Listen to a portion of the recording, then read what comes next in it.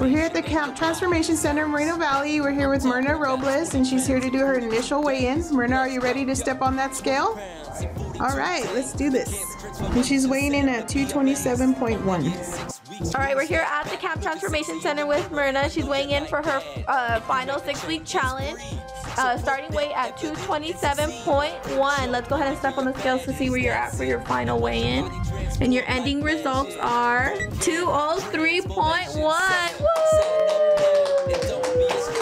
Total loss of 24. Yay! Yeah, I know you want it. Get in shape, be healthy, feel great. Don't matter your age, it's never too